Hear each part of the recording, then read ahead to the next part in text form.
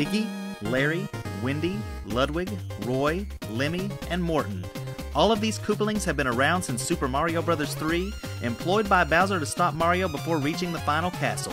But which one is his favorite, or which one does he trust the most? Everyone has their favorites, but we're going with Ludwig based on objective facts. Ludwig has been the final Koopaling, the last line of defense before Bowser three times, more than any other Koopaling. When he's not last, he's in the middle or close to the end. Do you have different reasoning or thoughts? If so, let us know in the comments. And don't forget to like and subscribe so you never miss another Mario Minute.